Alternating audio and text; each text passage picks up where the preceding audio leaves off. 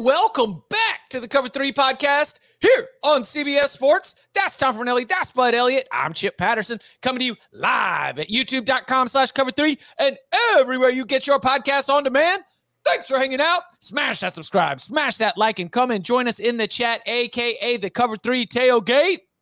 Lots to get to here. Wednesdays during the season, big game breakdown. And we've got the biggest game coming up on Monday night the College Football Playoff National Championship between one seed undefeated Michigan and two seed undefeated Washington. So we are going to go inside that matchup with a big game breakdown, title game edition coming up next. Also, when we were last with you on Monday night, recapping two epic semifinals, each decided on the final play of the game, we dedicated most of our time to that and also the, the way too early preview.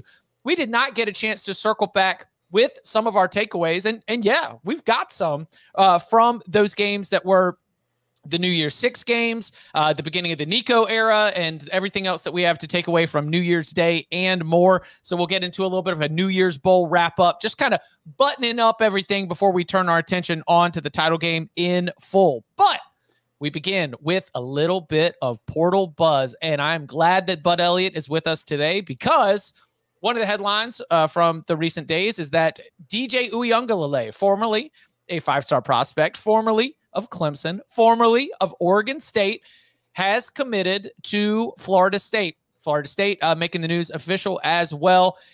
We had DJU visiting a while ago. Um, we knew that Florida State was in the mix here.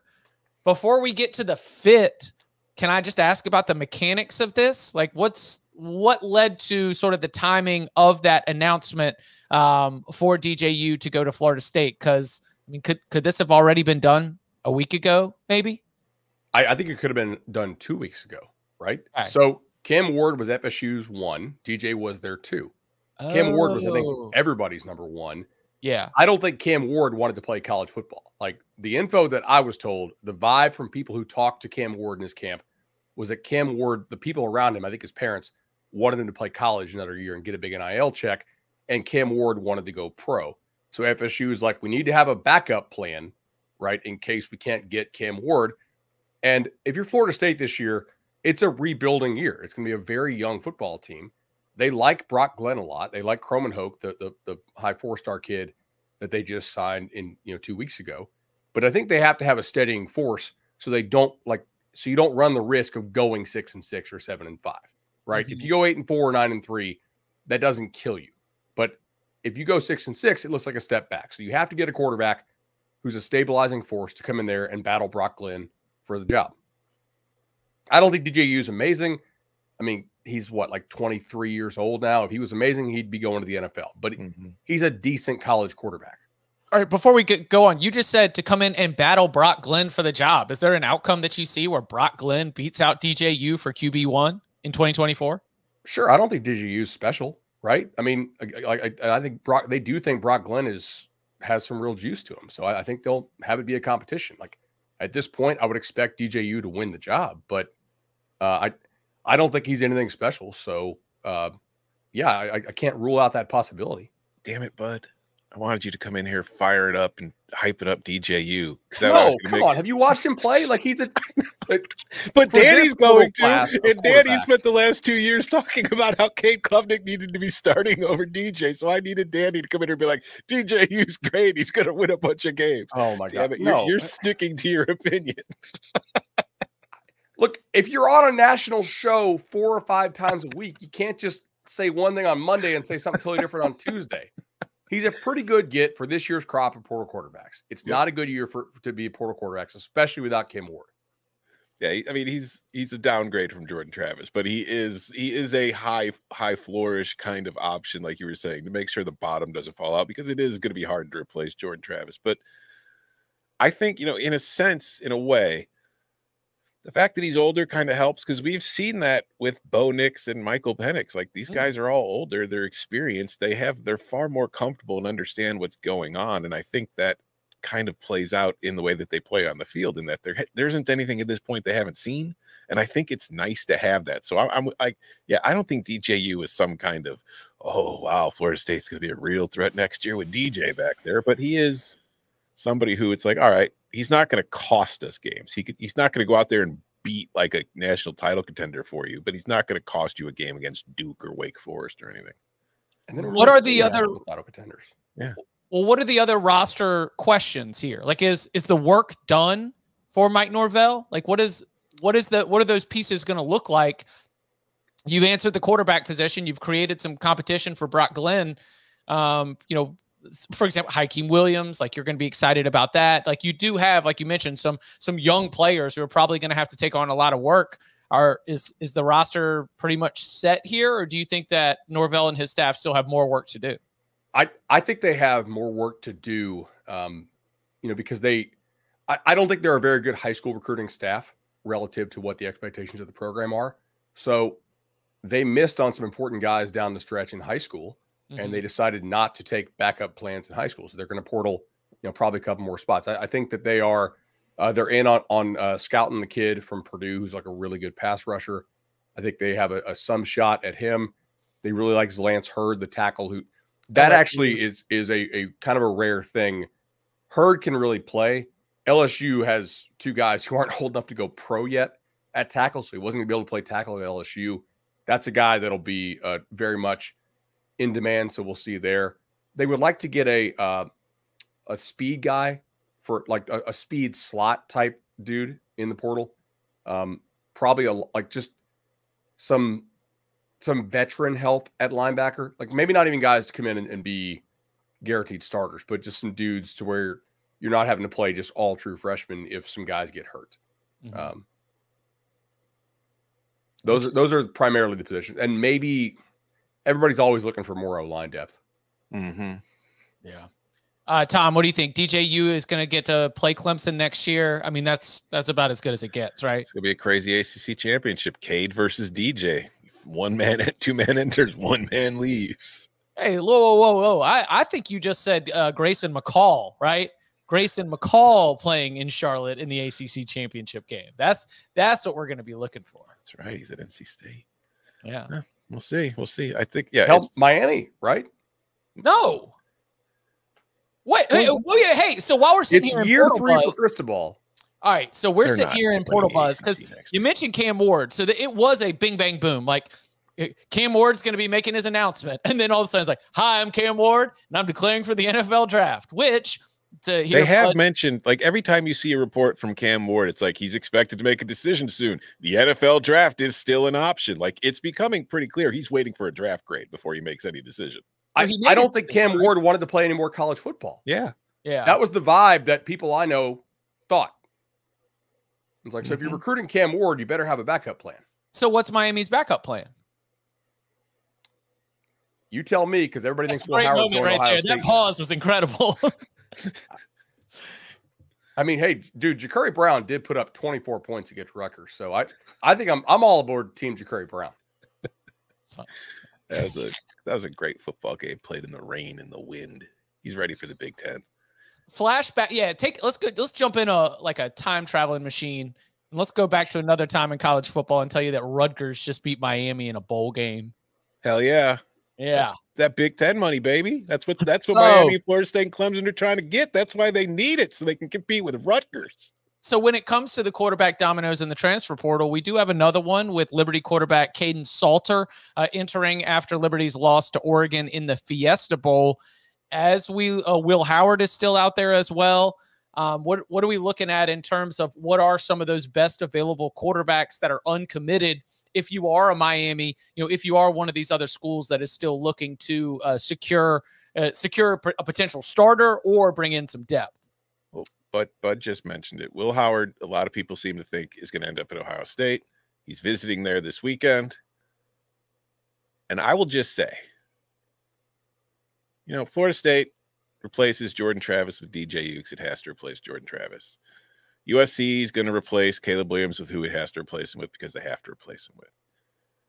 If Ohio State kind of ran Kyle McCord out of town for Will Howard, I'd don't really know that I understand what they're doing there because you cannot convince me Will Howard is a better quarterback than Kyle McCord. Will Howard is a more mobile quarterback than Kyle McCord, but he has a lower completion rate. He has lower yards per attempt. He has a worse touchdown to interception ratio. I don't think that'll be an upgrade. I think that'll just be a change.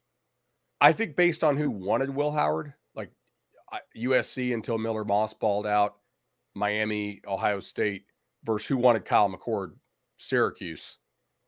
I'm going to defer to the market of coaches. And. I think Will Howard's a lot better than, than Kyle McCord. Like the guys who get paid millions to do this, none of them wanted Kyle McCord. Yeah. So like I I don't what think did what did what did what did Will Howard's coach at Kansas State want? Avery Johnson.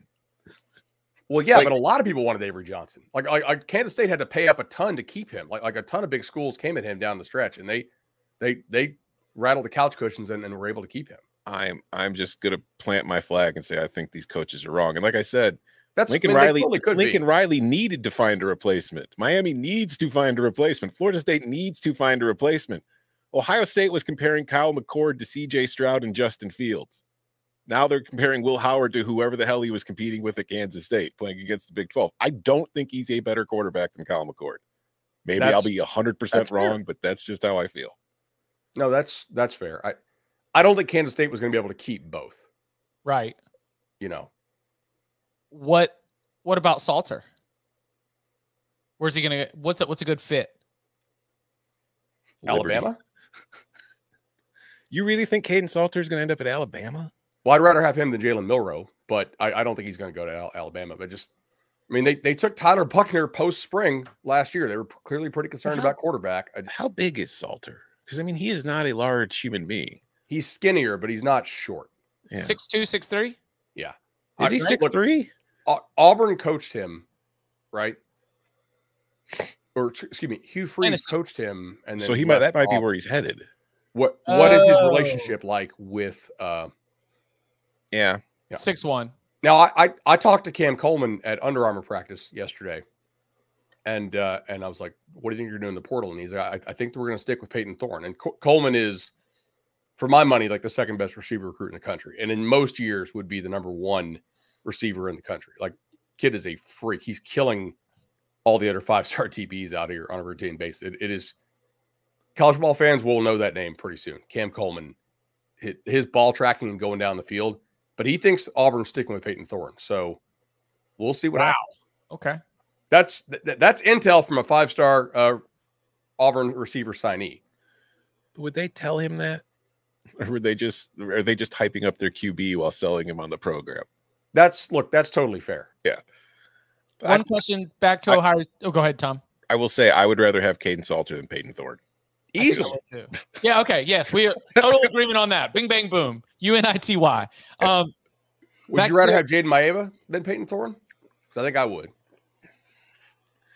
The UNLV kid? Yeah. Oh, no. Yeah. Yeah. Probably. Yeah. yeah. I mean, I just. would you rather have like I've been Nelson pretty, Payton Thorne? Yeah, I feel like I've been pretty clear about Payton Thorne since the moment he ended up going to Auburn after he left Michigan State. There's a lot of guys I think I'd rather have than Payton Thorne. Um, cover three tailgates rocking and rolling. Everybody who's hanging out, please uh, smash that like. And if and if you're in the cover three tailgate, you're clearly already a subscriber. Uh, so I do want to bring this question from there. So um, Air Noland is an early enrollee, mm-hmm. and you still have Devin Brown, you still have Kienholz for now, right? Is there any chance that Air Noland ends up being Ohio State's answer? If he's competing against Will Howard, yes. I'd be surprised. Okay. I think Air Noland's a good quarterback. I don't know if he's going to be. Uh, that would surprise me, I guess. But it is college football. Things happen. Sure. but it would surprise me. You sound like. Oh, by the way, th- there are like Miami Malachi Nelson rumors. Oh, that would be nice for them. That would that would be a great considering the way that things have broken. That would be a, a solid spot for Miami to land uh, along the way. Uh, one other headline, this one actually breaking just before we got going live at youtube.com slash cover three. Uh, University of North Carolina head coach Mack Brown announcing that he and defensive coordinator Gene Chizik are parting ways. Uh, there's a little bit of a staff shakeup right now that also includes the defensive line coach being out. They're going to move some titles around, but They will also begin a national search for a new defensive coordinator immediately. This is something that you see when coaches are not quite on a hot seat you know like the the sacrifice of your coordinator to answer the thing that didn't go well we don't often see it with uh, coaches who are in the hall of fame already who have you know national championship rings but when you have back to back late season collapses that happen in part because of your shortcomings on the defensive side of the football. When your record in November and December is poor and you have all these seasons that get off that start with off-season hype, strong start, poor finish, the inability to get stops, Gene Chizik now pays the price for that. So, either immediately, do you think that like Tom, do you think being defensive coordinator for Mack Brown at North Carolina is going to be a good job? Like, do you think they're going to be able to throw that out in the market and be able to attract someone who's going to change, you know, your opinion of what North Carolina is going to be next year? No, I mean it's. I thought Bateman was a good DC. I thought he was what he was able to do at Army, and I, again, it's the personnel he had is why I thought he was good because I felt like the schemes he was able to come up with to help counteract the talent level of player he had were very interesting and very good. And clearly it didn't work for him at North Carolina. but like the fact that you had to go to Gene Chizik out of the SEC studios in Charlotte, mm-hmm. like to play your defensive coordinator the last time, and situation hasn't gotten better. Like I, I think there's talent on that defense, and I think that they Chizik during that the last couple years has really failed to take advantage of some of that talent. I just don't know if it's like a super attractive job, but it's also a you know, it's an ACC defensive coordinator job. I was going to call it Power Five, but I feel like there's no more such thing as a Power Five. It's the Power. Two. No, but listen, it's a, it's a power conference job in the market where you're going to be able to put a price tag and a salary and live in Chapel Hill. Like you could, I I think that there's at least a a good job. Yeah, it's a good job, uh, but yeah. it's just I don't know if you're going to get like the hot young up and comer. Although, like you know, maybe Jim Leonhard like I, I think that that is somebody that is it is interesting to me that Jim Leonhard does not have a DC job yet, and it's like I don't know what he's waiting for because I know there have been offers. It, is it a good job because of the money? More so than the situation, I think. Yeah. Like we we just did this. Mack Brown fired a damn good D coordinator in Jay Bateman, and the narrative they put out was it was Jay Bateman's fault, right? Well, Jay mm-hmm. Bateman went to went to Florida, and their linebackers played okay. And now Jay Bateman's going to be the Texas coordinator A&M? at Texas A&M mm-hmm. for a mm-hmm. guy who knows defense in Mike Elko. Like I, I can't believe North Carolina is letting Mack Brown do this. But on the other hand, I can because I think they're an unserious football program, right? They're soft. It seems like the boosters like Mack Brown, so they're just going to let him coach forever. It, they they underachieve like crazy relative to their talent level every year. They get pushed around by mediocre ACC teams. I just cool. Maybe this next D coordinator will. I, I, feel bad for the players, except I don't because they could just transfer if they if they you know wanted something different. So like now that you have player empowerment, if you don't like the situation, get out. Just North Carolina to me is an unserious program under Mack Brown. I thought Mack Brown was an unserious hire actually, but like wow. the fact they've kept this thing going this long, his teams are so soft, man. Well, you just so- wasted. You just wasted two first round picks at quarterback. Well, right? Chip, Chip knows why Come North Carolina's soft. It's the Carolina you know, blue. Yeah, you can't. You yeah. just like that's the least intimidating I mean, color. It's the, the least intimidating color possible. No, the to me, the way that I have diagnosed this is that you are right. In all of these like signing days that Mack Brown has come out, he's been able to show you a four-star defensive end. He's been able to show you, you know, a four-star in-state defensive player that they won a battle for. And you're like, wow, you know, he's throwing out these top 30 class after top 30 class. But I think the reason why we have these late season collapses is there is not true depth. And I just think that they lean on those first stringers so hard early in the season that a couple of injuries or even just running out of gas late in the year, they just they're just like they're running in quicksand. I mean, you saw the way that North Carolina looked against NC State. They were looking like someone had just downgraded all of their sliders on the video game to where they could not move as quickly. And I I think that um, there's a mentality aspect to this, and whether it's from the coaching or the strength and conditioning standpoint, maybe it's you know the way that you are preparing your players. I I just think that that has to be addressed as from a philosophical standpoint. And maybe that's going into the portal. And maybe that can't be fixed with a new defensive coordinator. But the lack of like really true depth and the fascination and the overemphasis on some of these, you know, high-end guys it's just it's just leaving them moving slow at the end of the year. So ha- what's going to change, right? Because you, you've got offenses Nothing. that have been able to go out there and you know put that could change. The, the, the offense could take a major step back because you're losing and, Drake. Maye. And maybe that means less snaps. Maybe that means they don't play as many snaps early in the year. Who knows? But what was the kid's name who started the game? How long do they let Mack do this? I so that's the other thing that I would be concerned about in turn. If I was a defensive coordinator, are you just going to go when it's just one or two more years? Well, I'm going to need a guaranteed two year deal, and right. and my agent's going to try to get me a guaranteed three year deal because of the fear that Mack Brown. They'll never fire him, right? They would just tell him like, "Hey, like retire to save face." I would assume, right? It's kind of the same thing with Florida. Like, who's going to come coach at Florida when a lot of the coaching industry expects Napier to get canned like midway through next year? Yeah. Somebody will go take that check and they'll they'll be like, "Hey, give me multiple years guaranteed." If you guys say this thing isn't a sinking ship, we, we see this every year in the offseason. So like, somebody will take the job. Who started for uh, them in the in the mail bowl? Was it quarterback? Who? Conner Harrell. Harrell. Yeah. Okay. When he, when I thought he, he played all. Hey, look, I thought he played all right. Yeah, I thought like the very first possession because it was like what third and fifteen, and then he took off with his legs and picked up the first down, and I was like, oh, that because like he just like that was a bolt of lightning. So there's there's something there. I don't think he's going to be Drake Maye, but I, I just saw flashes from that kid. That kid's got some potential. You put him with the Marion Hampton. That is a dangerous backfield yeah. that could present some problems. You've still got some talented wide receivers that are there. Um, yeah, it North Carolina is not going to be a top 25 team going into next year. And and maybe we see the reverse then, right? Instead of coming in with all the hype in the world, then instead they kind of get to work their way up. They they they could finish with the same with another eight win season, and it would feel much different next year than it would before. Historically, this is a seven to eight win program, and like, Bud, this is where I'll push back. Uh, just one last thing because we don't need to spend a lot of time on this, but it got so bad those last two seasons under Larry Fedora that Mac Brown was not an unserious hire because nobody was going to the games.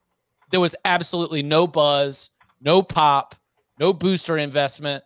If you were still operating in that kind of place, then you were going to fall like woefully behind. And so that you, you had to make a hire like that, or else you were you were going to fall to places that North Carolina football really doesn't spend a lot of time at.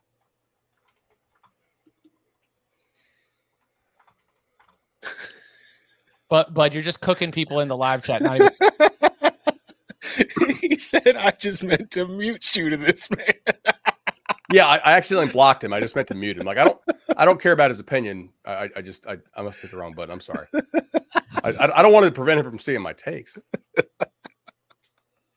All right. coming up on the other side. Uh, hey, hey, bud. Coming up on the other side. Let's talk about. uh Let's talk about the Orange Bowl and more of the games from December 29th to January 1st. Next. The Scudetto, where the soul of Italy meets the pinnacle of calcio. Catch Serie A on CBS Sports Network and streaming live on Paramount Plus. Guys, we at the Cover 3 podcast are a finalist for the Best American Football Podcast category in the Sports Podcast Awards. And this is something that requires votes for us to be able to be, bring home the trophy. Have we been a finalist before, Chip? This sounds familiar. You're damn right we have been. And this time we're coming for that top spot. So help us bring home some hardware and use the link it, or in the QR code, the YouTube chat, all, all the different places. We are going to give you the link. It is sportspodcastgroup.com slash sports underscore category slash best American football podcast. Again, we will put it in the description if you are listening to this wherever you get your audio podcast. We have it right now in the chat. It will be in the YouTube description. And if you're watching this live or whenever, on youtube.com slash cover three. We've got a QR code on the screen. You scan that QR code, and the process, honestly, will only take you about 30 seconds to get there, uh, log in, vote, and then that will help us be able to win. Again, we are a finalist for Best American Football Podcast from the Sports Podcast Awards.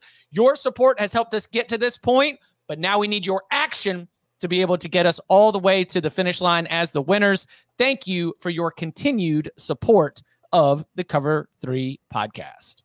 You know, I'm just going to say it. We're the best football podcast, American, South American, European, African, Asian. We're just, we're better than, we know more about that sport than they do too. Let's be real. Just a bunch of talking heads blowing out their ass. We, we're the real ball knowers over here. Yeah. Ne- next year, best worldwide football podcast. You guys want to talk about like some, some four, four, two, two, some four, two, three, one? What do you guys want to go on? Well, listen, I just know that right now, among the big five European leagues, the way that Fiorentina is able to stifle the buildup Mhm. for opponents right now is right Mhm. up there with Barcelona. You know, like it's right up there with some of the top sides in the entire world. And it's almost like uh, Vincenzo Italiano, aka Vinny Italy. It's like he knows what he's doing out there. Can goal scoring become a little bit of a problem? Yes. But if you stifle the buildup and you got enough strikers that can put it in the back of the net, hey, that's that's how you get to Europe. That's how you get to Europe, baby. Yeah. I mean, I, Napoli could sure use themselves a Vinny Italy chip. Just might want to watch that. How, how- listen, I'm used to sending off the best uh, best pl- talent to other sides, so might as well have uh, managers as well. Okay, let's. uh We don't need to hit every single game. I'd rather go like topic or take or or you know thought uh, along the way. And Tom, you had mentioned as we were getting set for the show, and it, it does work uh, chronologically. So we saw Ohio State fall to Missouri in the Cotton Bowl. Mhm. It's a huge win for Coach Drink and the Missouri Tigers in terms of just just overall like I'm, that's going to help with investment that's going to help with buzz you're on the recruiting trail obviously has already paid off in a new contract as well but also a lot of frustration for Ryan Day you know the most vocal Ohio State fans they came right back out you know with some of the the same criticisms of their head coach what are you thinking about the Buckeyes in the wake of that defeat Uh, I'm I'm not optimistic about him. uh, Clearly, like going back to what I was talking about with Walker Howard, what I saw from the QB situation in that game, that that's not promising. Devin Brown, I I know they're high on him, but I'm yet to see Devin Brown finish a game healthy. Anytime he's had a key role, he gets banged up a lot. He's injury prone. That is a problem. Kienholz was thrown into a tough situation. Third string freshman, no real experience being put in there against a Mizzou team that's pretty good, and it looked like exactly what you would expect it to. I would say the positive to me is that the defense held the Missouri team that was one of the best offenses in the SEC in the country all year long to 14 points. Like Mizzou did not get anything going until the fourth quarter. So that's a good sign for Ohio State. But offensively, man, like I, I just it's I watch teams in bowl season have to go to backups because of opt-outs and they figure out ways to put you know put points on the board and move the ball. Ohio State had however many weeks to get ready for this game with Devin Brown. He gets hurt. Clearly, that throws a wrench in the pro- the process. But they weren't good before he got hurt, and it's just it's I I don't know. It's just there's a vibe about Ohio State right now that to me is just off. I I it's going to be a very very important offseason in Columbus. I I think I I catch the same vibe that you're you're suggesting there, but I'm also it's still Ohio State, and I'm not going to go nuts about a bowl game. Like Mhm. Ohio State care about the game. On the one hand, their player like a lot of their players actually played, but not all. yeah that I, I think they They were mostly full win the game. I, I think they win the game and probably comfortably if Brown doesn't get hurt. Like I know they didn't do a lot with him in there, but there was a noticeable drop off, you know, between he, he and and, and Kienholz. Like Kienholz, the offense, they literally went to the Wildcat like quite a bit when he came in there. So you know, to me, that that is a problem when you have to run, you know, your your third string true freshman quarterback out there. They were they were pretty much inept. Um, the other problem I, I had, they didn't play their starting center, and I'm really not sure why, but they had to move the other guy or one of their guards over to center, and they're like the right guard they played, he was just getting destroyed. I don't, know who that is. I, I I didn't go back and look. There's a lot of things going on around New Year's with with, with the with the recruiting stuff, but just watching that live, I was like, oh my god, like this kid is just getting his lunch ate. So uh, they had a couple guys miss the game. I still think it's Ohio State. They're still going to be the favorite to win the Big Ten next year, right? Pretty. Yeah, JJ, JJ's going pro. Like, dude, fifth, there's going to be 15 NFL draft picks from Michigan's team. You think Oregon? I think Michigan's going to be the favorite to win the Big Ten next year. The betting favorite or the media? I can see the media doing it, but I don't think I don't think the betting markets will agree with that. Um, I, if Will Howard's Ohio State's quarterback, I hope Ohio State's the favorite to win the Big Ten. Who's Michigan's quarterback? I'm betting JJ McCarthy. Oh, I think McCarthy's going to go pro. Mm. If McCarthy's back, th- then I rescind the take. I, my, my take is based on the the assumption that that McCarthy's going to go pro, but totally could be right. Um, And also, I might rather have Alex Orji than Will Howard.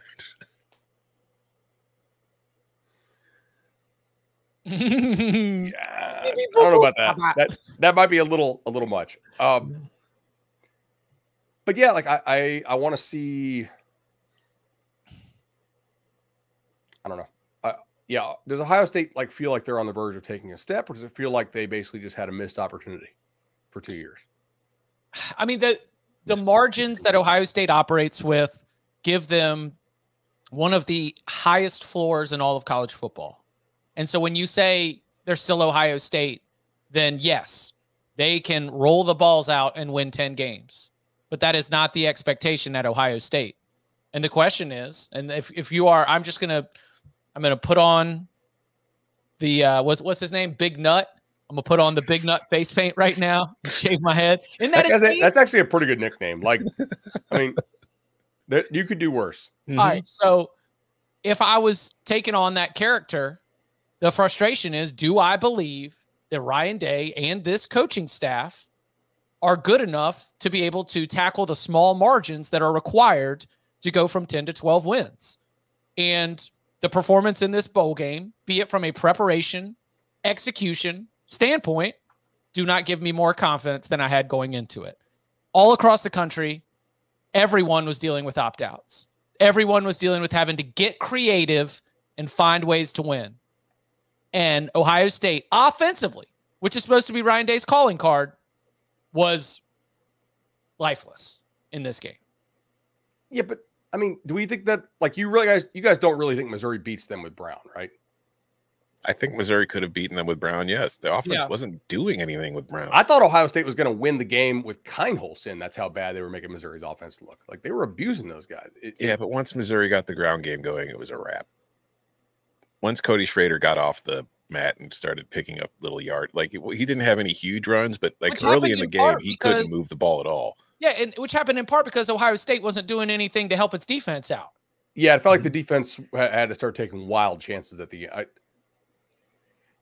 I don't know. I, I like. I don't really downgrade Ohio State and Penn State for what happened in the bowl games because of who they had out. I think if Ohio State wins the Big Ten next year, it'll be because of its defense. And its defense is nasty. And so, yeah. And I Uh, also think something talent Ohio on the offense too. Yeah, but I I also think they need to fix like they need to fix their special teams. Like I Ohio State fans have been complaining about it all year and and for good reason. Like the special teams has been a problem for them all season long. They need to get that back in check because when you're trying to win, like especially now with Washington, Oregon, USC, UCLA, you cannot win the Big Ten next year with like one third of your team being that poor. Mm. Man, special teams was an adventure in every single bowl game. Mm-hmm. I mean, especially in the semifinals. Um, all right, bud. What out of this crop of games, um, what what are some of the point point me to one, point me to a team, point me to a game, point me to a, a result. What was something that stood out to you? Um, Oregon scored about as many points as I thought they would score. Like I thought Liberty would score some points. They actually, Oregon's defense played better than I anticipated it would after the opening series.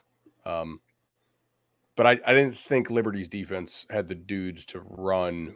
I just I wasn't sure how well Oregon's defense would play. Like that to me, that was the question. Mm-hmm. It's like, all right, if Oregon gets some stops, it's going to score 40 plus.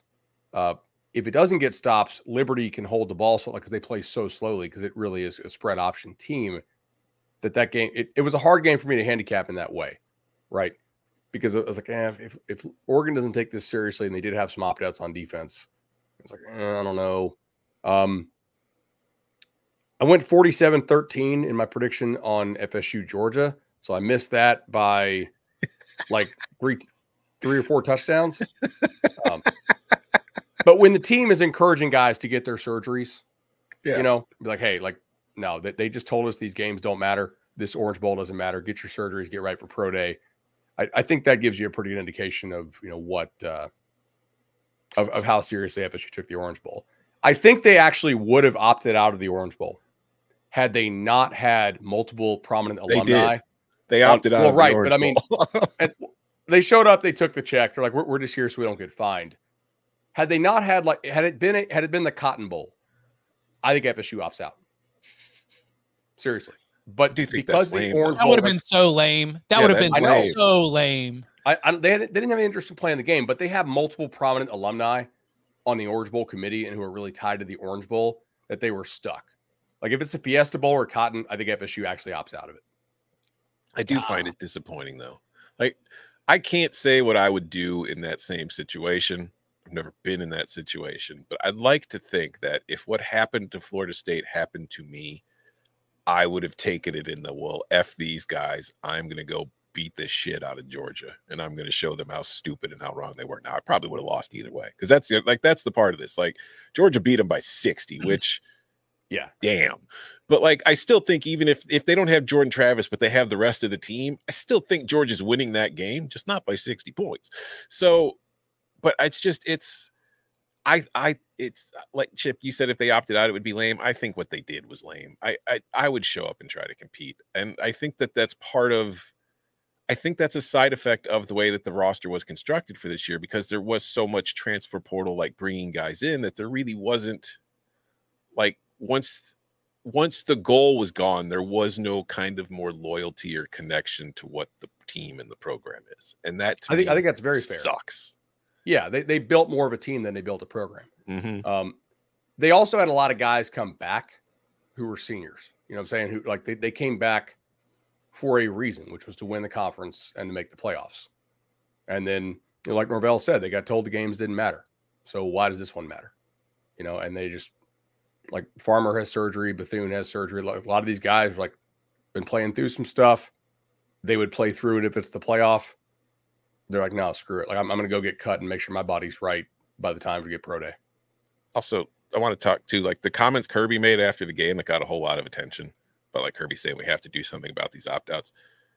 I'm not saying that you don't want to try, but to use Florida State as an example of what's wrong with opt-outs to me is like that's that's the black swan event. That is not the norm. If you looked at all the other New Year's Six games, like we just talked about, Mizzou was pretty pretty much full strength.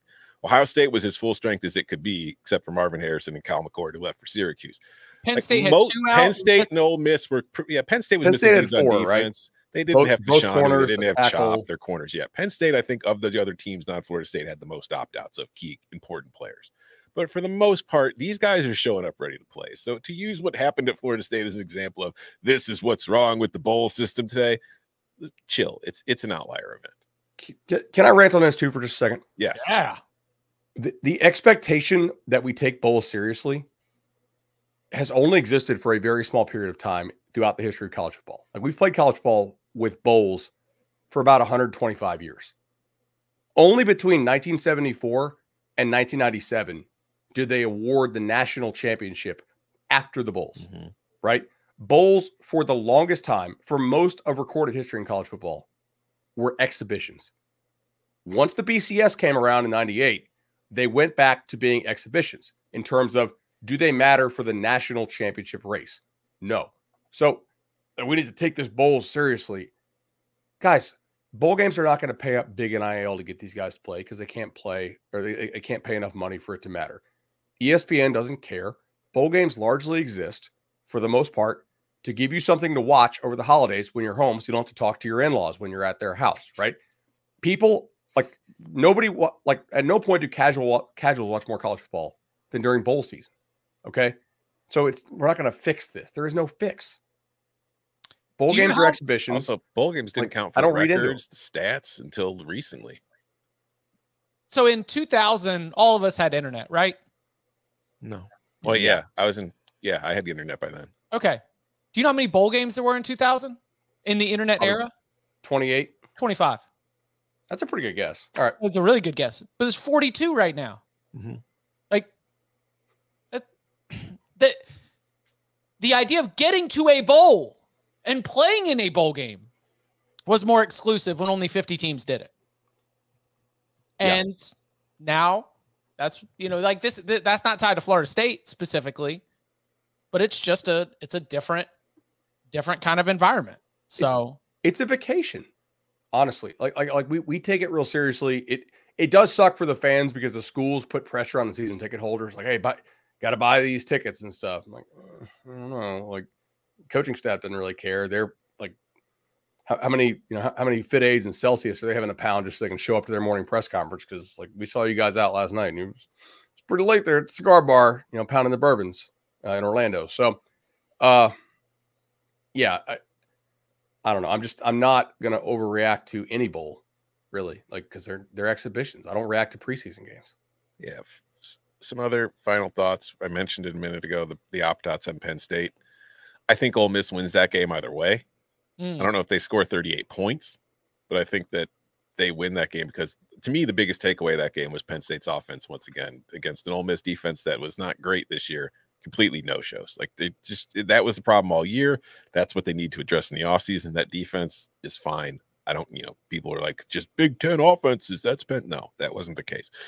Um Nico Iamaleava did not have great numbers, but man, that kid looks good. Like if you look at his numbers against Iowa, nothing really stands out. He threw for like 150. He rushed for 27, although he had the three rushing touchdowns.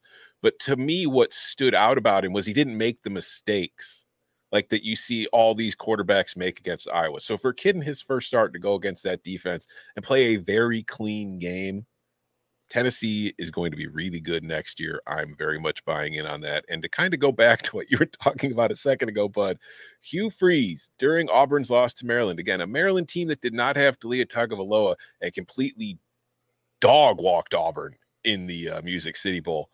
Hugh Freeze is apologizing during his post third quarter interview on ESPN. He's like, "Yeah, I'm sorry, blah, blah, we just didn't come." But then after the game, Hugh's talking about like he's the game plan. He had nothing to do with the game plan. So for an idea of how the seriously some of these teams take these games, Hugh spent the last few weeks recruiting. He left preparing for the bowl game to his assistants. That's just kind of an echo of the situation that a lot of these programs take when it comes to the bowl games. It's almost like he treated it like an exhibition. Yeah. but all right, End of Liberty's regular season last year. It's it's Yeah, gonna get very wild. I was I uh I talked with both Steve Sarkisian and Kalen DeBoer about this. So um December 20th is the date of a first round college football playoff game next year. It was also the date this year of the early signing period. What in the world is a staff gonna do when you're trying to prepare for a playoff game while also trying to lock down your signing class? And if the portal still has the same windows too, you're also trying to manage that, talk to your guys about whether they should be getting in the portal or not, and and weighing all those options. It's uh Hugh made a decision. Am I gonna spend my time recruiting? Am I gonna spend my time getting ready for the Music City Bowl? It's a smart decision. Hugh Freeze has to win in 2025. I know people like who are pretty connected to big boosters at Auburn. They know Auburn's not going to be great next year. Okay, you got people in that division who probably will be. Well, no divisions anymore. Like like you know, traditional rivals mm-hmm. who probably will be. The pressure is on for Hugh Freeze to win in 2025. Every decision he makes has to be geared towards winning in 25. You have to recognize your window. Saban might be gone by then. Yeah, we'll see. Coming up on the other side, we turn our attention to Monday night's national championship game in Houston with a big game breakdown. Next. Out there, there are two colossal beings, both forces of nature in their own regard. But in here, as soon as the chute bursts open, the duality of man and beast begins to fade. This is the PBR on CBS Sports Network. Back here on the Cover 3 podcast, all Wednesdays during the season include us going inside the biggest matchups of the weekend. So you know we got to do it here for Michigan Washington. It's a big game breakdown.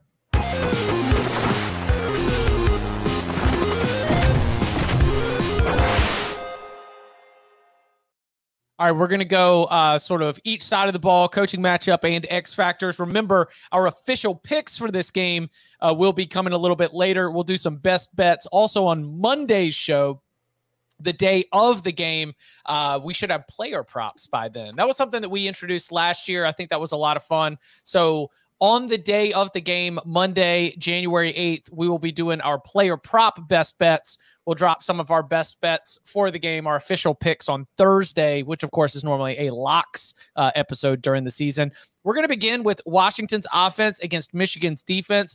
And we begin with the news breaking in the last, you know, 12 to 15 hours that running back Dillon Johnson who dealt with a foot injury early in the year and who, after the game, uh, Washington said, Washington coach Kalen DeBoer said that, you know, it appeared to be a re-aggravation of that foot injury. Well, offensive coordinator Ryan Grubb has since said X-rays were negative. They are expecting Dillon Johnson to play in the game. Incredibly significant, especially how important Johnson has been in some of the biggest games of the season.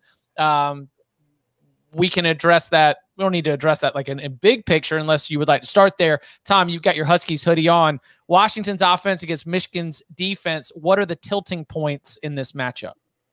The guards. Um, Washington's offensive line won the Joe Moore Award. It's a good offensive line. I don't know if it's the best in the country. I, I mentioned this on Twitter yesterday because we, we talked about it on the show with Michael Penix. I don't think this offensive line wins the Joe Moore Award with most other quarterbacks. I think mm-hmm. Michael Penix's ability to avoid sacks helped them out a lot as far as like people just looking at the stats and like sacks allowed and all that kind of stuff. But I think when I look at this Washington offensive line, at the tackle spots, they're good. At the center, they're good. I think both their guards are fine, but I think they are helped out by the guys they're surrounded by. And when I look at this Michigan defensive line and I look what it did against Alabama, and they crushed the right side or left side of Alabama's offensive line in the Rose Bowl, but the interior is where Michigan is. And we saw it against Texas. Byron Murphy and T'Vondre Sweat played well. They did not, you know, they they were winning most of those battles. They weren't getting to Penix, but they were winning the battles and they were bringing pressure. Michigan is going to do the same thing. The difference is Michigan has guys at the end who are better than I think what Texas had. It's a more complete defensive line. It is has more depth on the defensive line and it is going to be imperative for Washington to, in the middle of that line, to hold up against that, especially with Dillon Johnson, because based on what I saw, I don't know if he's going to be 100. Mm. percent Like he might be willing. Yeah, do to you play. buy that? Because I'm, yeah. I'm, yeah, like that. I was, don't buy what, what that was not a nice look. That was a high ankle sprain looking ass injury to me. So, I, I. I don't know that they're going to be able to run the ball that effectively. And as good as Penix is, and as great as those receivers are, if Michigan doesn't have to worry about your run game, it becomes a lot simpler to at least slow down the passing attack. And I do think that this Michigan defense, like, no, they have not seen a set of receivers like this this year. But the defense, like, for years, Michigan couldn't beat Ohio State. This team was built with the idea of we have to stop CJ Stroud, Marvin Harrison, Chris Olave, Jaxon Smith-Njigba, all these dudes. And then they did it. It's the same defense, it's the same principles. So it's not like this isn't something that Michigan has dealt with in the past. So I think that the key for Washington's offense will be to find a way to win on the interior and be able to at least give a semblance of a run game. And maybe we see, like we saw in the Sugar Bowl, they use Penix more as a rusher just to keep the Michigan defense honest. Because, again, if you allow them to play one dimensional on defense, they're going to win. I think a big part of this is daring the Washington receivers to make the same contested catches again.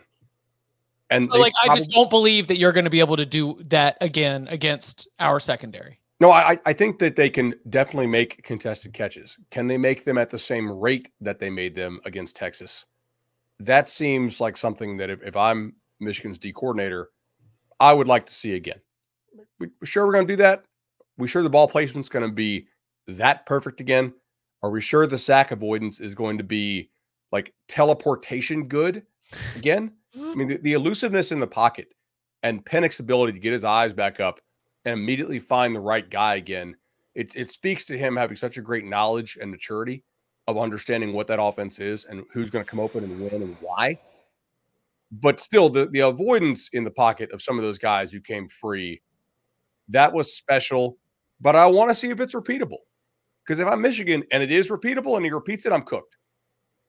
Right? I mean, it Texas got some pressure up the gut, to Tom's point. And Washington's run game was not humming. Yeah, Mm-hmm. exactly. Washington does such a great job of scheming and formationing you, and obviously Penix knows where to go with the ball, of constantly having somebody open. Very few negatives. They're constantly moving forward. They don't get in a lot of like third and long type situations. You know, is Texas willing to challenge that? Or excuse me, is Michigan willing to challenge Washington in a way that Texas was not, and for good reason they were not. Right, the Texas defensive backs are not great. We talked about this. Like, is Texas probably a, a better team than Washington? I think on power numbers, yes. On matchup, no. Right?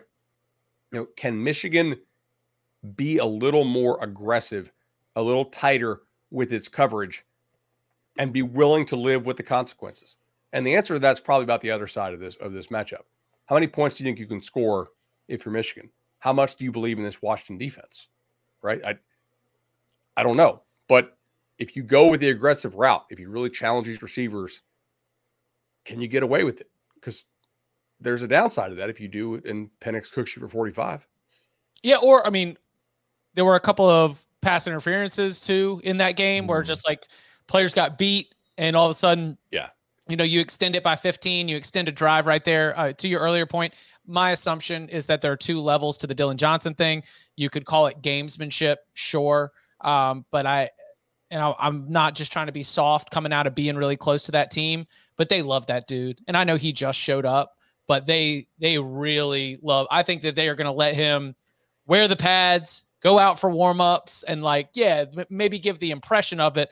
But let's let's be honest, when Jesse Minter, the defensive coordinator for Michigan, is sitting down and sweating, yeah, he wants to make sure that they stop the run. But what he's really sweating about is about how to stop one, two, and eleven.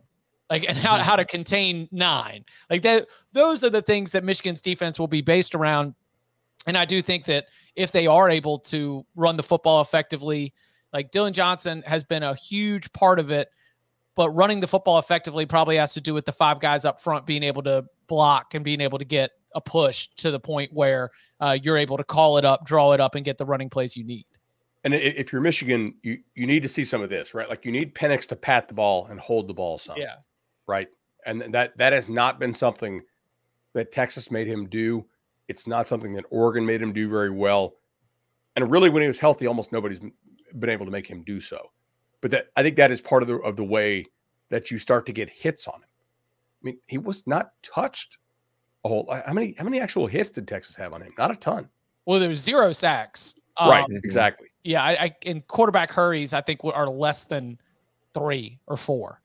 I mean, it was, and in a couple of them, like he had two times that he threw the ball away. I'm sorry, I'm going off the top of my head, don't have it, but I know then there were also two or three times that he had somebody in his face and he just delivered a not a strike, but like finds the guy underneath in the middle of the field just to be able to like keep things moving forward. To your point, with like a no negative plays type situation. P- PFF ha- has uh, Texas as recording zero quarterback hits.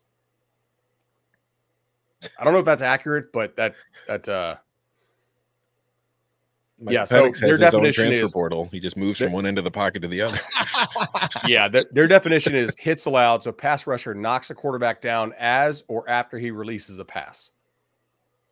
If Michigan records zero quarterback hits, Michigan is not going to win the game. Yeah, I don't even need a bunch of sacks, but I, I do need him to be hit if I'm Michigan. but Jenkins, Grant, Graham, Stewart just coming in the game on a third down situation to come Mhm. in there and and like make you move with his ability to come off the edge. This is let's see. Let's play that game again. it's the best defensive front in football. Yeah, right? Yes. Okay. And it's not close. Like, I mean, I know Texas has Sweat and Murphy, but the rest of it does not compare to what Michigan has at every spot. Yeah, Yeah, it was Swe- so Sweat funny. might be the best of all those, but Michigan is deeper, and and, and they're Mhm. I was talking to a scout on Monday night. He was saying that he thinks Murphy's going to run a 4-8 at the combine. That they had Who, Murphy. Byron? yeah, that Yeah, they he might. Yeah. he was working a camp for Herman when Murphy was in high school and the, the he was like talking about the I didn't know about all this the the wrist measurements like all the projection software that they have where they like they measure like neck wrist like all mm-hmm. these other things and then they figure out what you're going to be down the line and that Murphy was Sweat was the, the deep defensive player of the year. I was talking about like I love this guy. I think he's incredible. They're like in terms of NFL, like Murphy might end up being just right there, if not picked even higher in terms mm-hmm. of the the defensive line in the NFL. But we don't need to talk about those losers anymore. No, I'm just kidding. um, okay, so best best defense, and I do love that. In if I could put my bud pants on real quick, um, we did say on this podcast, Michigan has the defensive line that everyone thinks Georgia has. Remember, mm-hmm.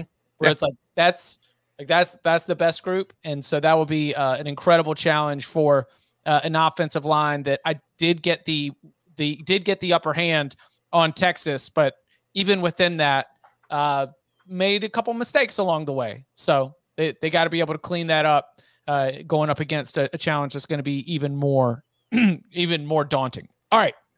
Let's flip to the other side. Michigan's offense against Washington's defense.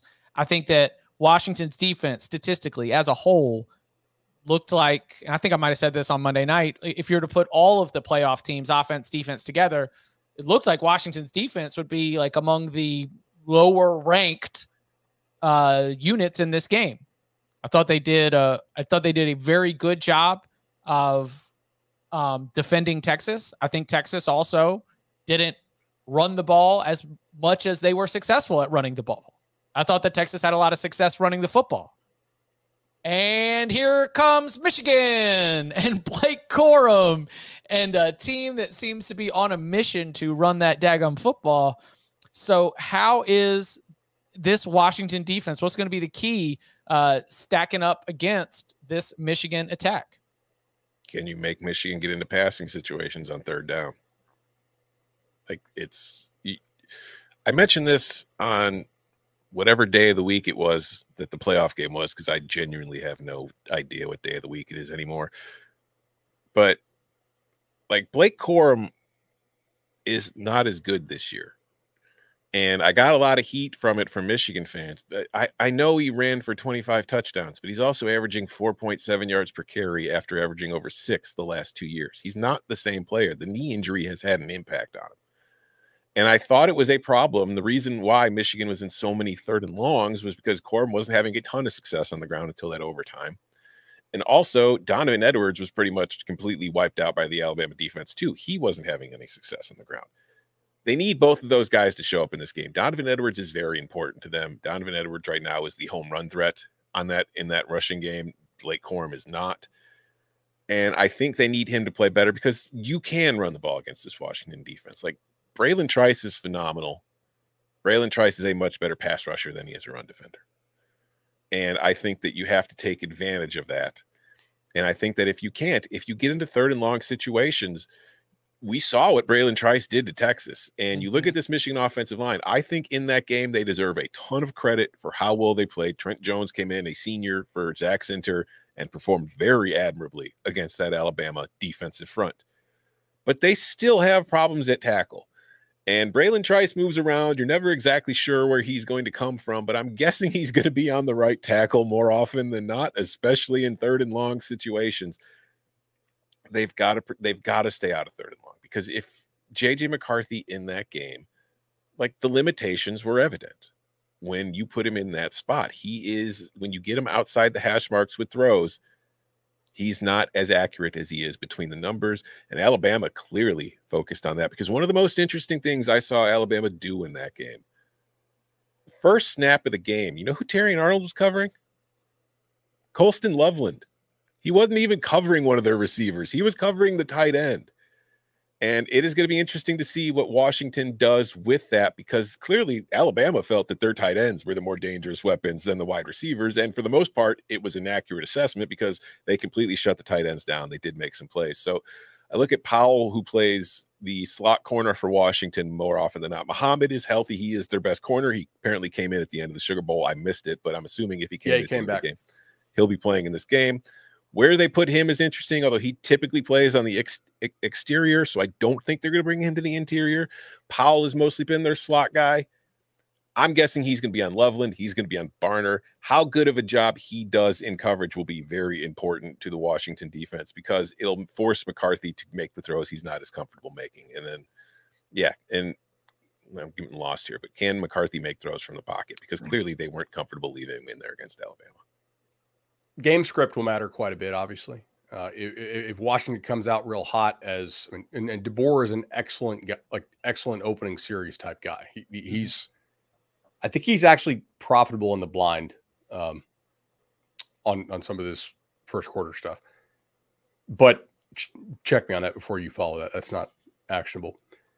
So game script will matter a lot, obviously, and that that's seems like a no, no duh. But I think you can run the ball some on on Washington, but it's really an I think because they did not face a lot of kind of hit you in the mouth type run games.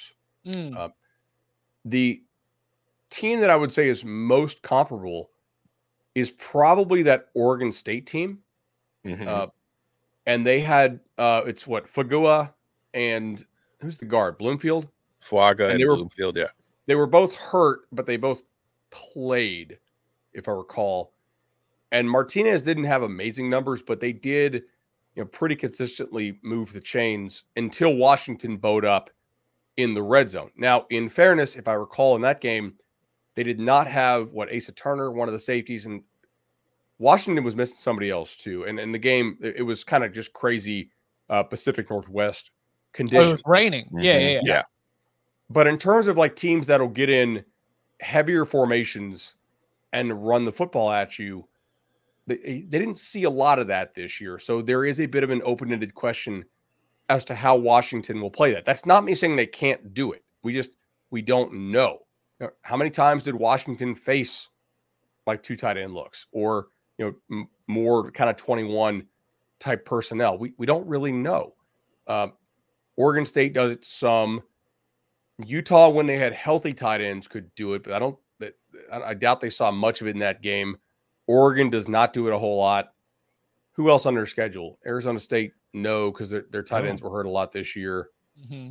Trying to they think. Don't face power run games really. Boise didn't. Michigan State doesn't even really count because they were game scripted out of that game so fast it really didn't matter. It's like 28 um, to nothing five minutes into the game. right. Not running a whole lot of two tight ends when, when you're down yeah. 28. So my point here is that there is a bit of an unknown as to Washington's defense when it has to face a, a bit high, a, a, like a, a beefier. Well, yeah, like think about uh, Zion Tupuola-Fetui. Like it, you've got somebody on the outside who is an edge rusher he's like 250 260 pounds and when he's not having to take on a huge tight end who's trying to set the edge for you on the outside run play then you know he gets to tee off a little bit and that will not be the case against michigan uh trice is 275 they do have like inside like Ale's 320 330 something like that they've got size mm-hmm. I, I he's got I some beef I do not think they are an undersized group but it is a uh, it's it's going to be a different challenge than a lot of what they face throughout the season for sure. I mean, styles make fights, and Michigan has also not faced a like top level passing offense. They did face a top level receiving corps against but not Ohio a passing State, offense. But McCord was just not a good player in, for for Ohio State in that game. So uh, there's a lot of unknown here. Um, you know what else is unknown? I have no idea what Michigan's going to do. Like this is the sandbaggingest ass coaching staff in the country. like Marvin Harrison said after the Michigan after the game when they played this year, he's like Michigan threw coverages at us that we didn't see on tape. You looked at the beginning of the Rose Bowl; they were in formations on offense I hadn't seen them in all year. Now I haven't watched. I've gone back to watch the tape. I might be wrong, but watching the TV copy, I was like, "What the hell is this? I haven't seen this." So uh, I don't know if they've got anything special planned for this game that they've been saving because, like, they do that. Like they they played basic ass vanilla football for the first three and a half months of the season because they knew they could. And then they've saved a whole lot of stuff for these moments. And they came back. Like their goal was to win the Big Ten. They thought they would do it. Their goal was to get to the playoff and win the damn thing this time. So they I guarantee you they have been working on stuff for these games. I cannot believe the greatest coach in college football history got out coached in the Rose Bowl. You know, I got into a discussion with this with Barrett on HQ yesterday. I don't know that he got out coached. I thought both coaching staffs did a tremendous job. Mm. I think Alabama was very confused at the beginning of the game because again, like you saw, the secondary was like they were looking at each other like, what the hell are we supposed to do? I don't know who I'm supposed to cover because they were in formations they weren't ready for. But then at halftime, I thought Alabama made all the proper adjustments. Once they got into the locker room, that coaching staff fixed it. They cleaned things up and they came out and they were the better team in the third quarter. And then Michigan kind of adjusted again and actually went back to its early game script on offense on that final drive and in the overtime to get the touchdown drive. So I thought both coaching staffs did great in that game. And I know it's easy to say Nick got out coached. And I know Alabama fans are going to feel that way. I just think Michigan's players won the football game. I don't think it was a coaching battle.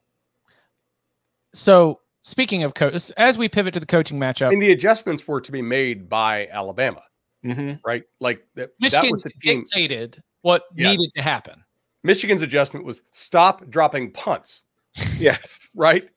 You know, and and JJ McCarthy, please hit open receivers when when, when we scheme them open. Like, if no adjustments were made, Michigan runs away with it Mhm. based on how the first half played Yes. out in terms of like offense and defense.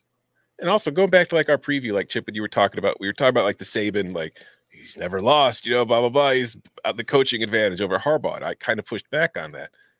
Like McCarthy, I don't know if you saw his interview with uh, Dennis Dodd on the field after the game. They were talking about the, the play to Blake Corum on fourth down. And McCarthy said something that I thought was really interesting in that he says, Well, we ran that play against them in 2019. And then he goes, Well, he says Hassan Haskins and Shea Patterson. I thought it was interesting that JJ said we, but he said we saw like we went back to the 2019 game because the thing about Alabama's defense is, I mean, Nick Saban invented the way pretty much everybody plays pass coverage for the most part these days. But they've also not really, while they've adopted and they've adapted, they haven't really changed the general principles of what they're trying to do. And JJ says, Well, we knew that if we put in this formation, what these guys were going to do, and the running back would come out completely free. It's like it was a gotta have it play. You save it for these moments. And it's just that kind of game prep for I don't think fans in general consider like that coaches put into these games. Like when you get to this level, there's so much this year, particularly the sign stealing and all this kind of stuff, blah, blah, blah, knowing the plays. These teams know each other inside and out before they ever get on the field. And, And- and yes, be- yeah, Sorry. go ahead. No, like to be fair, I I was shocked at how well Bama played some of the stuff based on based on how they played it, how well they played it. It- some of those condensed looks, I'm like, okay, they're gonna have to they're gonna have to have to check the zone here, and they'll they'll, they'll play this over top, and didn't.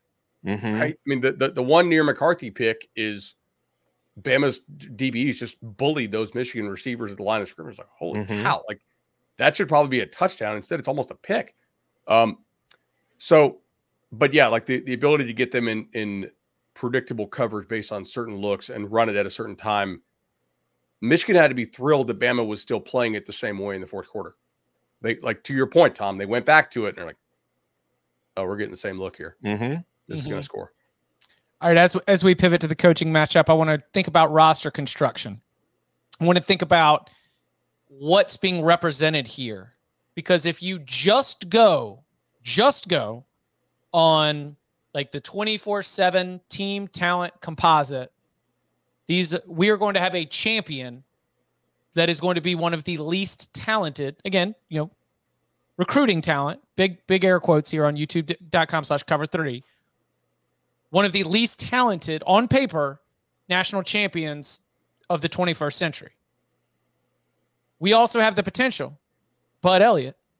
I mean, Bud, you you know, as, as I've discussed often, we have a lot of friends, right? We have we have a lot of huge fans of the podcast. I'm leaving the Superdome. And you know what is the one thing that everybody's talking about? Everyone's What? buzzing. They say, Chip, Chip, Chip, Chip. I'm like, what, what, what, what? Do you know the blue chip implications here? Hey, is anybody Chip? Have you talked to Bud about the blue chip implications? I'm not kidding. Like this is this is a hot topic of conversation among many of our you know friends, colleagues, peers.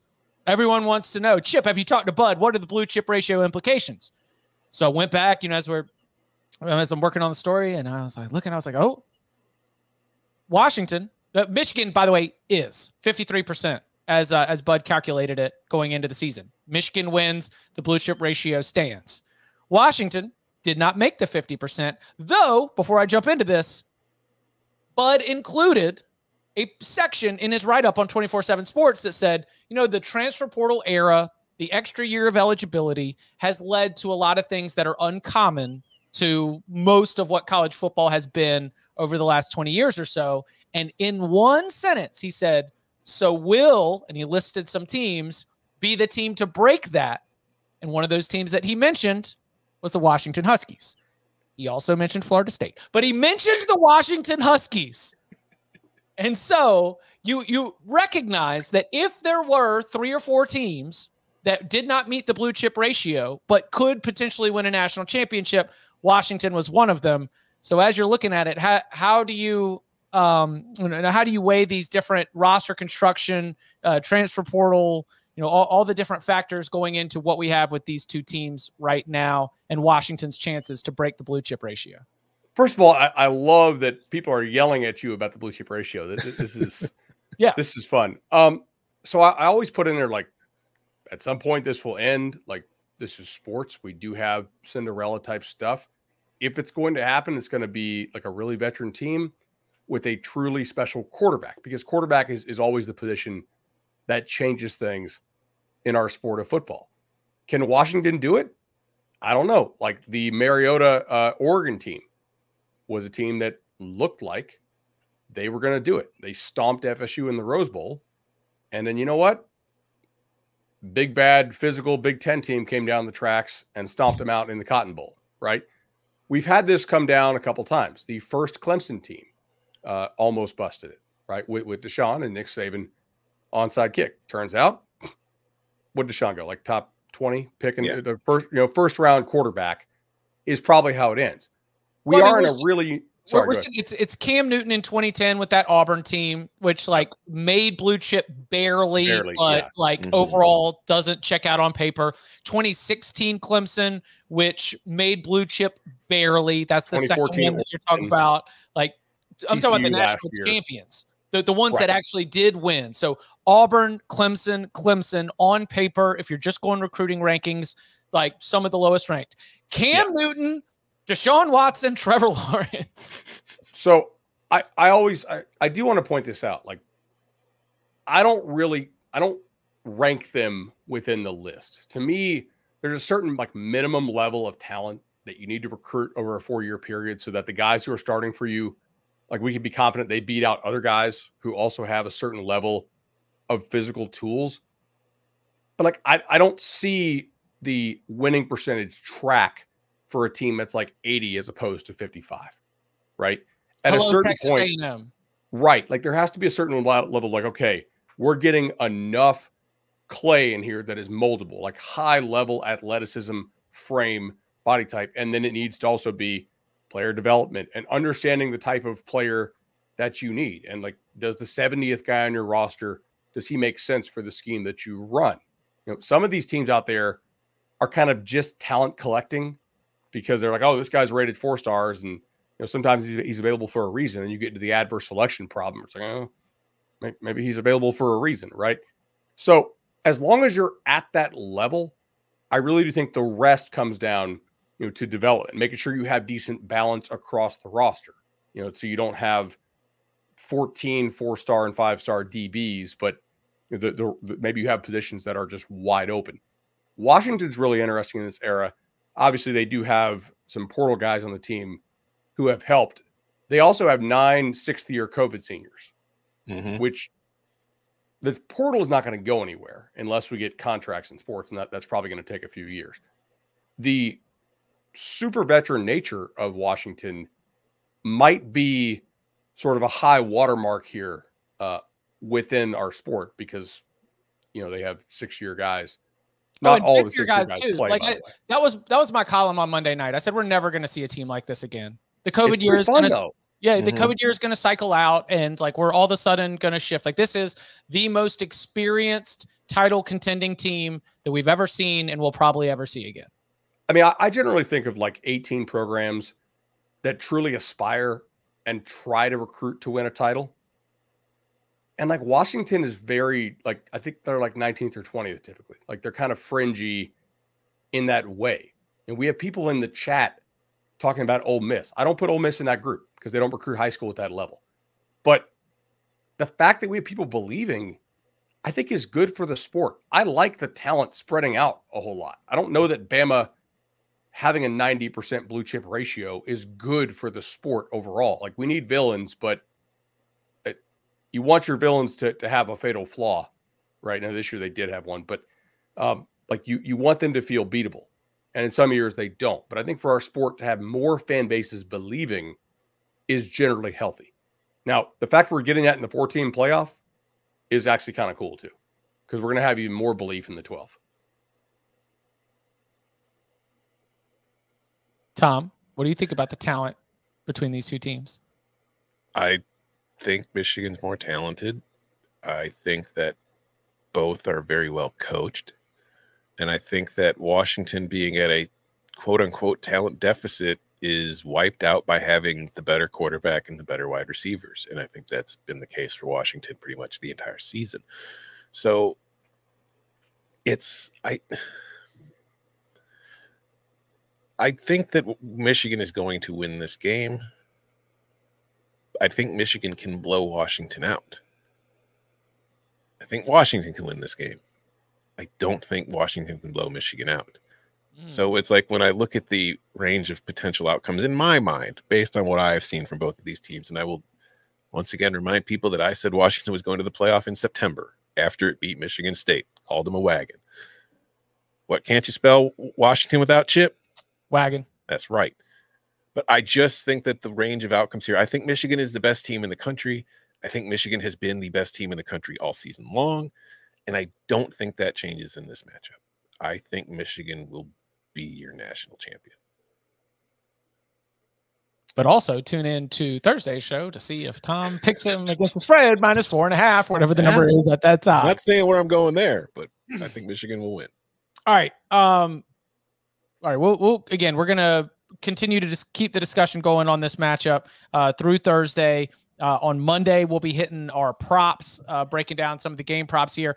One last note: breaking news during the show. I just it, instant thought here. Um, we've got a according to reports, the Bruce Feldman, uh, LSU has fired defensive coordinator Matt House as well as the assistant defensive assistant coaches Kerry Cooks, Robert Steeples, and Jimmy Lindsey. Massive staff overhaul by Brian Kelly coming for year three. Again, I'm, I'm seeing that from uh, Bruce. It might be official as well. Might as well be official if Bruce is saying it. Um, I mean, LSU's defense was not good all season long. They also lost their offensive coordinator. Uh, what's our temperature check of Brian Kelly's program? Well, he's taking the Michigan job, right? I'm look.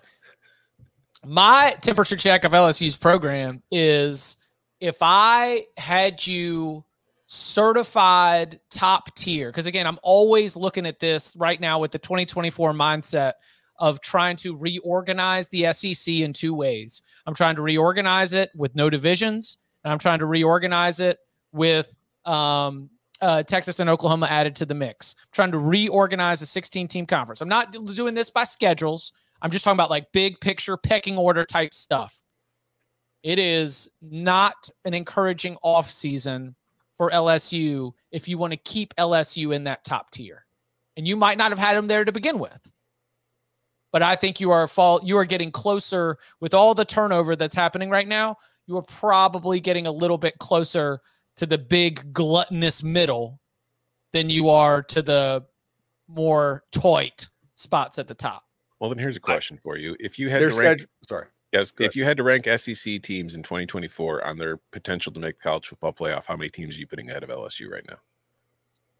Georgia, Alabama, Texas. I think Alabama. Yeah, I'm putting Alabama ahead of LSU. Ole Miss.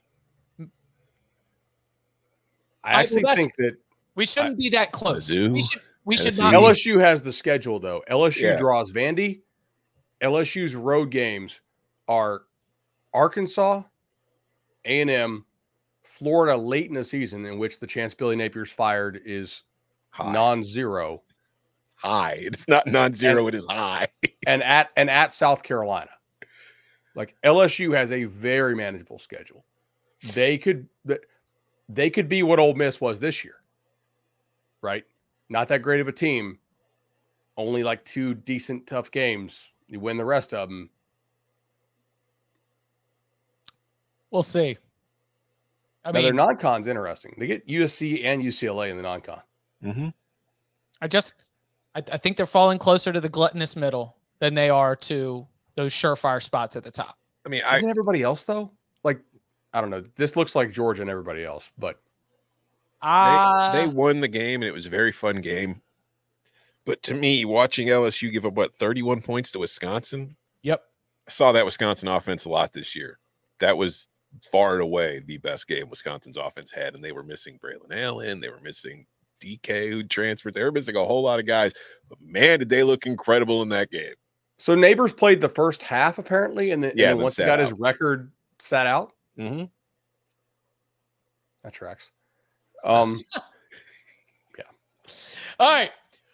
We will be back Thursday, 11 a.m. Eastern Time, where, among other things, we will be giving you our official college football playoff picks against the spread, over, unders, and more. So come and hang out for that. And you can follow him on Twitter at Tom Fornelli. You can follow him at Bud Elliott3. You can follow me at Chip underscore Patterson. Gentlemen, thank you very much. Thank you.